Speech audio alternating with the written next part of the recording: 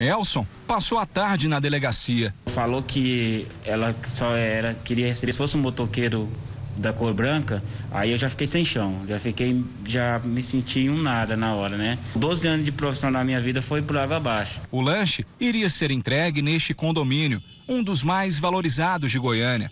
Elson foi barrado na portaria e pediu ajuda para que a lanchonete entrasse em contato com o cliente. Na mensagem veio o absurdo. Esse preto não vai entrar no meu condomínio.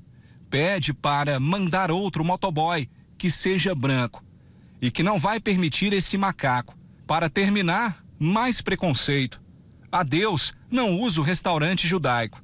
O dono da lanchonete cancelou a entrega e mandou Elson voltar. Ele ficou perguntando, ia para voltar por quê? Porque que a gente cancelou, né? Falei, por que, que é para voltar? E foi, teve que contar para ele, não, porque a pessoa falou que é um entregador branco. A gerente da lanchonete decidiu expor a troca de mensagens na internet. Não no intuito de viralizar igual tá viralizando. Eu postei no intuito de mostrar para quem me seguia o que, que tinha acontecido na hamburgueria. Em nenhum momento quem fez o pedido esteve na portaria do condomínio ou se identificou para o porteiro, que estava com o entregador.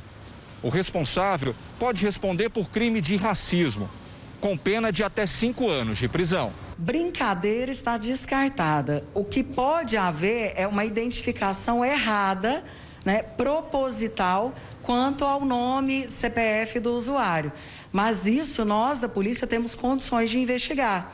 O aplicativo disse que identificou, baniu a cliente e repassou os dados para a polícia. Enquanto existir esse tipo de atitude, vai ser isso.